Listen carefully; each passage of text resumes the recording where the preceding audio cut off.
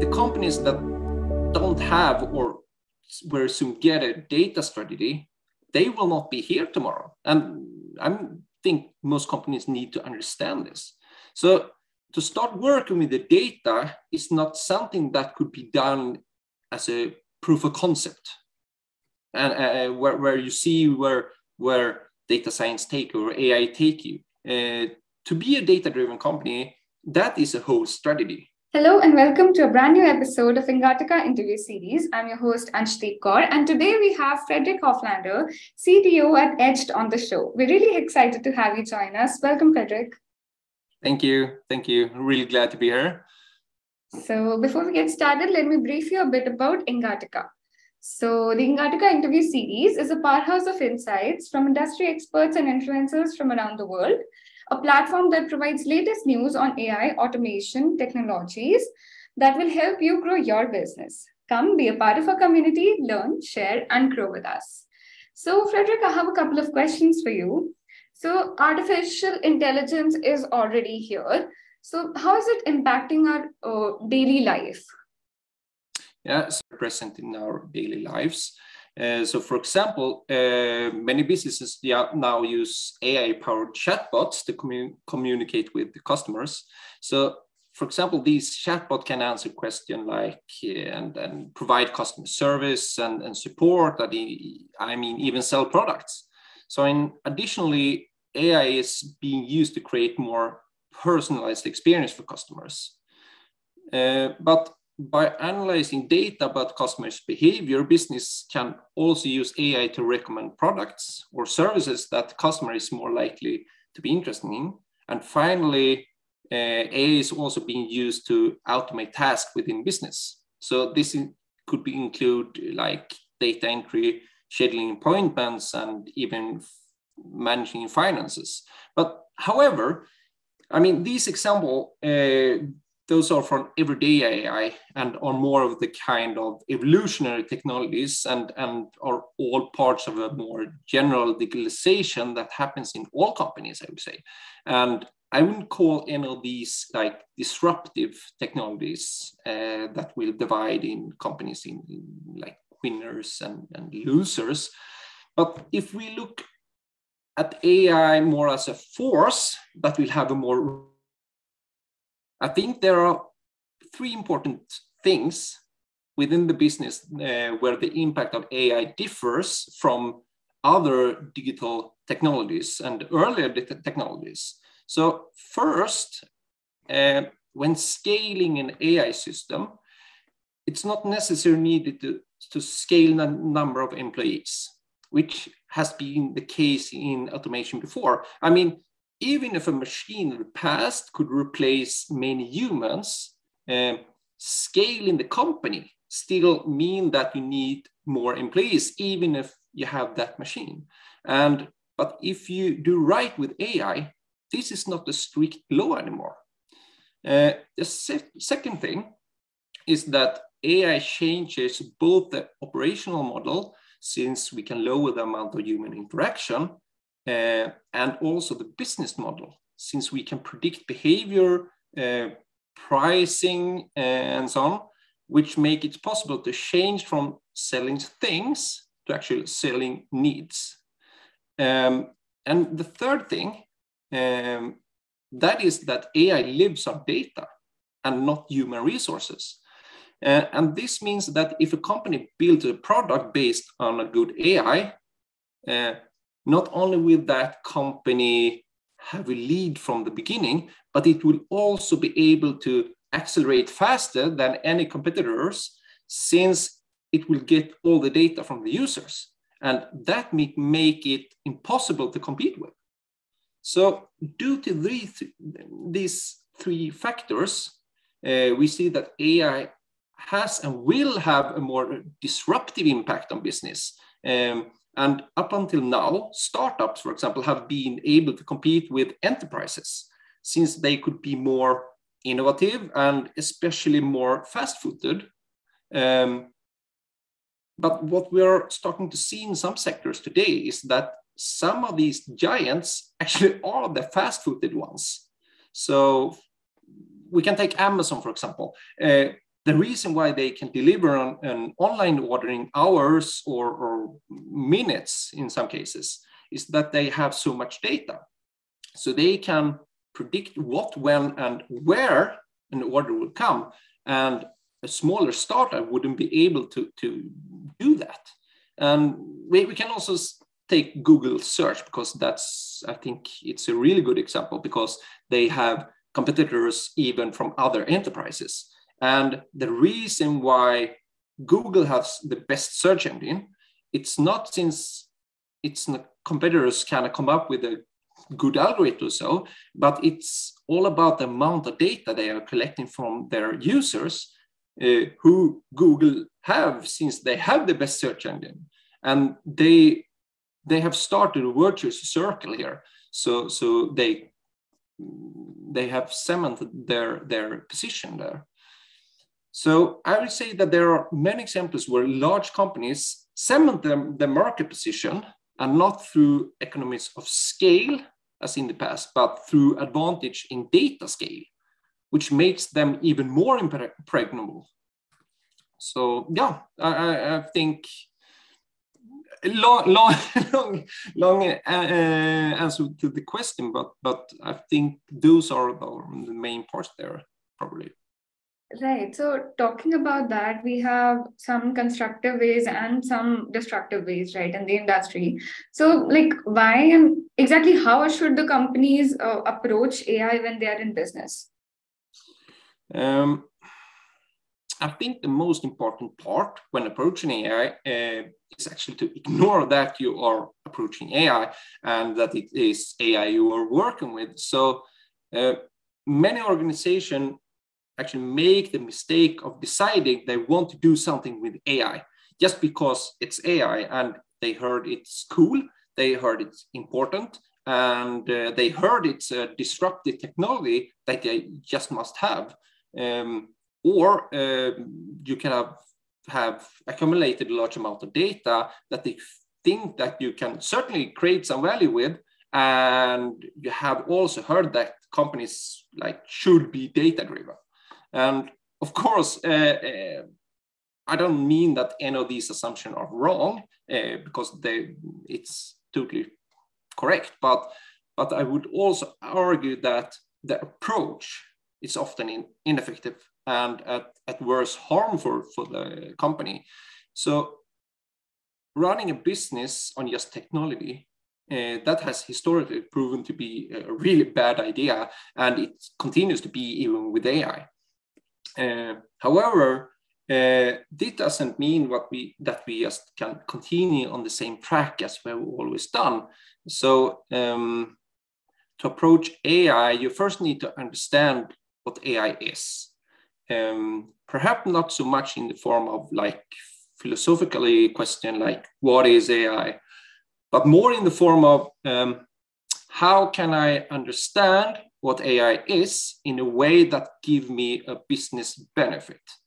Um, and I usually like to demystify AI by instead looking at the technology, te technology as a more of a prediction machine. Uh, this means like the name, a machine that can let you see into the future. Um, and I mean, what company wouldn't benefit from looking into the future? Um, and if we look at AI in this way, uh, then we can ask ourselves the, the really powerful question uh, if we only knew, then we could.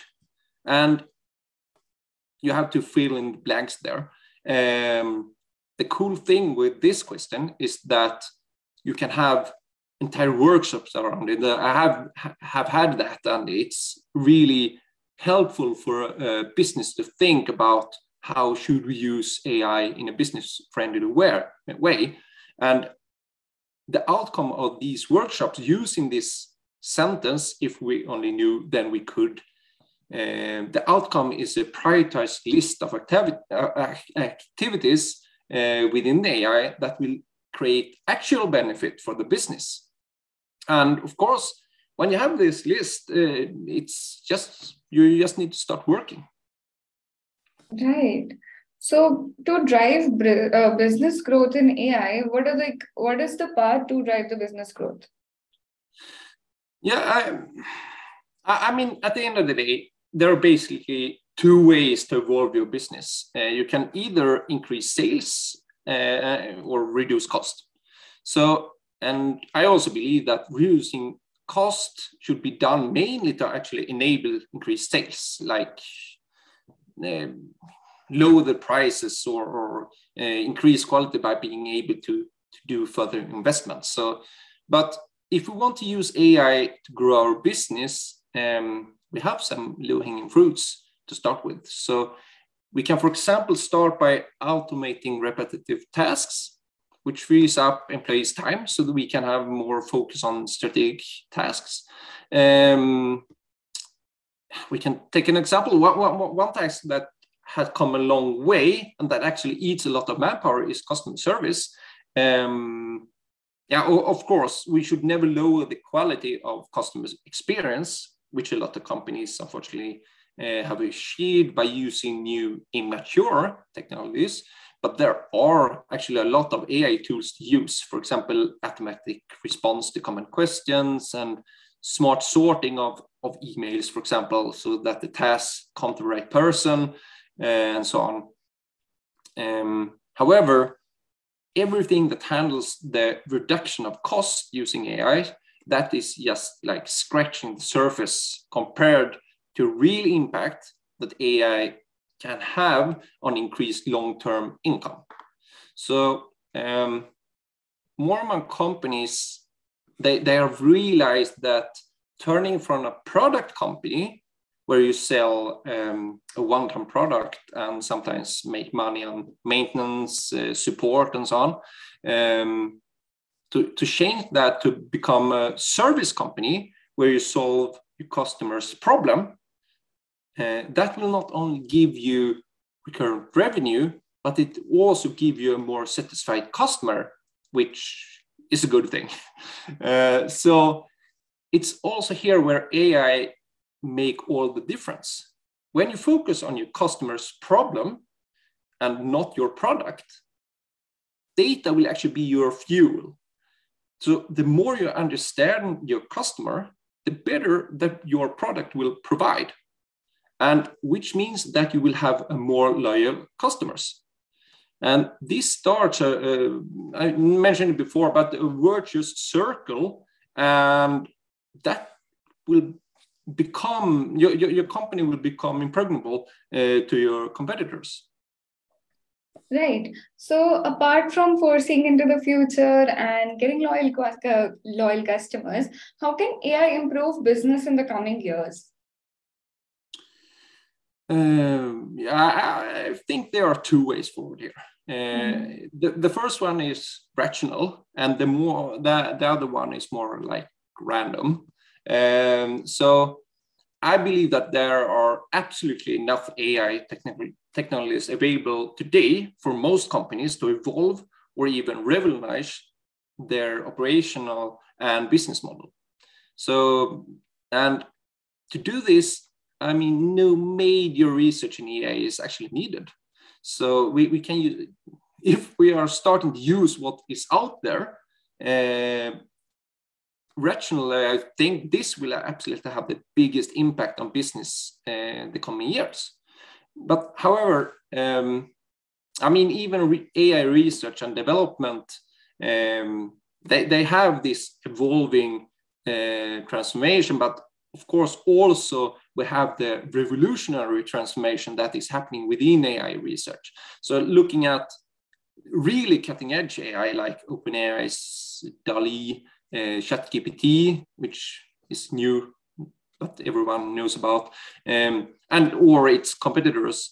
Uh, the only thing we can really be sure of is that we have no idea where AI can take us.